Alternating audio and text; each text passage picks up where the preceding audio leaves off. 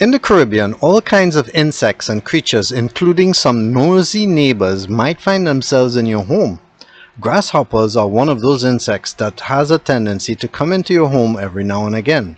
They have an ancient origin of 250 million years on this planet, even before the time of dinosaurs. Yet, sometimes they seem to get stuck on the ceiling or a wall and do not know how to get out.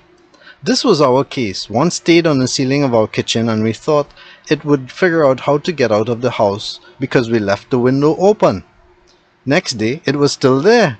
Grasshoppers need water just like we do, but they get it from the plants. So if it was going to stay in the kitchen, it would die, especially because that is where it gets hot from cooking.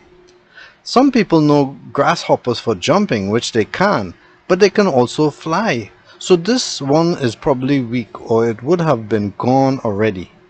I put a broom about an inch away from it and it did not hop away Instead, it slowly walked onto it like those slow people maxi taxi stop for and they think they have all the time in the world.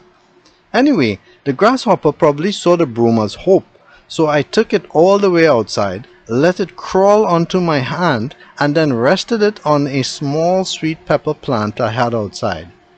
By the way, grasshoppers do not attack humans or animals, they only eat plants. Can you see it? They use camouflage as part of their defense against predators. You will notice how slowly she moves.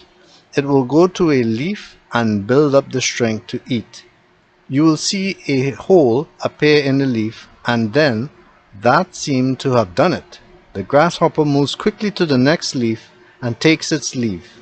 I know some people do not like grasshoppers because they are the tender form of locusts. However, this little buddy is harmless, and I am happy to see him survive our hot kitchen and get back to nature.